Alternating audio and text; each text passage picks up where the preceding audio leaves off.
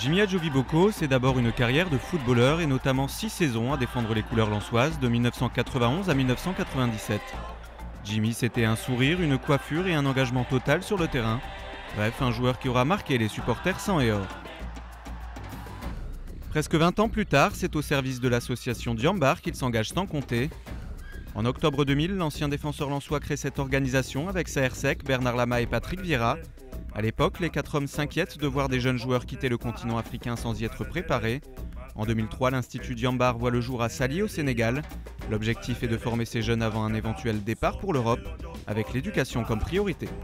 Un footballeur de haut niveau, euh, il a beaucoup plus de chances de réussir s'il euh, a une éducation, une instruction, parce que le, le, sport de haut niveau, le football de haut niveau aujourd'hui euh, devient de, plus en plus complexe. Les jeunes doivent euh, non seulement gérer euh, le terrain, mais aussi tout ce qui se passe en dehors, que ce soit la relation avec les agents, la relation avec l'argent, la relation avec les supporters. Tout ça sont des éléments, plus, on a d'outils et de, connaissances, et plus on a des chances de, de réussir sa carrière.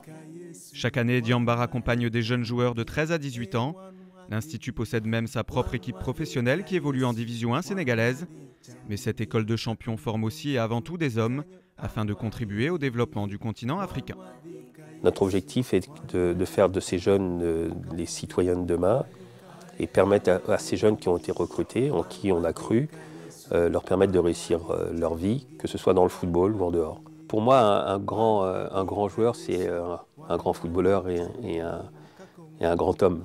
Donc euh, voilà, il n'y a pas. Euh, on, doit arrêter de dissocier euh, le, sportif de, l'homme. Pour moi, c'est un ensemble. Un grand joueur, aussi talentueux soit-il, s'il ne se comporte pas bien dans la vie, pour moi, c'est pas quelqu'un de bien.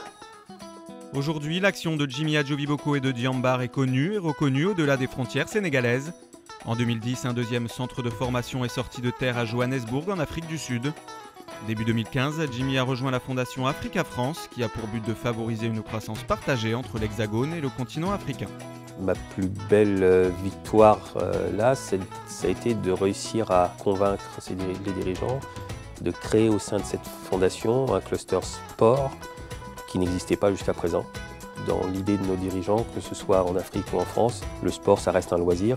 Or, on, démontre avec Diambar que le sport peut être beaucoup plus qu'un loisir et peut être un, véritable levier de développement euh, social, économique, de mobilisation de la jeunesse, donc un, vrai levier de développement. Des projets, Jimmy Adjoviboko en a encore plein l'esprit, avec toujours le même principe, se servir des valeurs du sport pour faire grandir les hommes.